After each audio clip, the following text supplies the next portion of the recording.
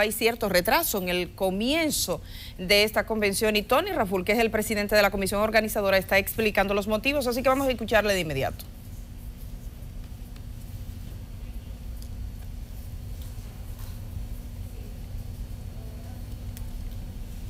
que se presentaron como en todos los procesos. Entonces la Comisión Nacional Organizadora emitió en la mañana de hoy una resolución en la cual plantea o comunica que en todos los, en los lugares donde hay retrasos, en los lugares donde hay retrasos, eh, se mueve la hora de inicio de la convención. Le habíamos programado para las 8 de la mañana, se movería para las 10 de la mañana, 9 de la mañana, y así facilitamos eh, que puedan empezar con todos los elementos eh, complementarios debidos.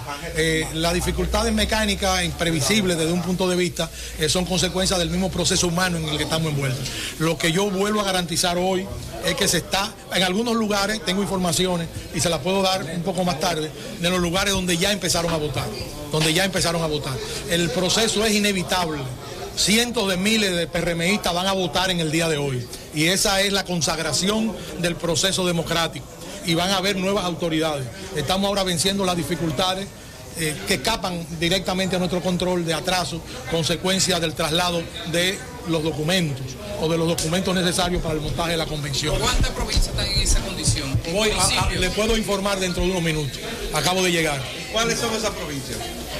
No, no, no. Eh, hay algunas que, están en, proceso y otras eh, que van a convencionar, aunque tengan que convencionar a partir de las 11 o las 12 del día. Hay tiempo suficiente para convencionar. Hoy se convenciona. Hoy se convenciona en todo el territorio nacional, o por lo menos en las provincias que están habilitadas, habilitadas para, para, para votar. Le puedo informar, le puedo informar más tarde. Aquí dentro de dos o tres minutos lo vamos a iniciar. Esta, esta es una votación, la de aquí casi simbólica, porque es de la dirección ejecutiva del partido. Casi, casi, digo, no es simbólica, pero tiene representación, digamos, simbólica en el sentido de que no es una votación masiva, sino solamente de algunos compañeros. Yo la voy a iniciar dentro de unos minutos. ¿En esos lugares donde ha habido retrasos? Ha habido retrasos, no ha habido problemas, ¿eh? ¿Se van a cerrar eh, las votaciones más tarde también? Por supuesto, lo vamos a tomar en cuenta siempre y cuando hayan votantes. Hayan votantes, pero hay en muchos lugares donde nosotros habíamos previsto que la votación podía terminarse a las 4 a las 5 de la tarde, o sea que se puede terminar perfectamente a esa hora.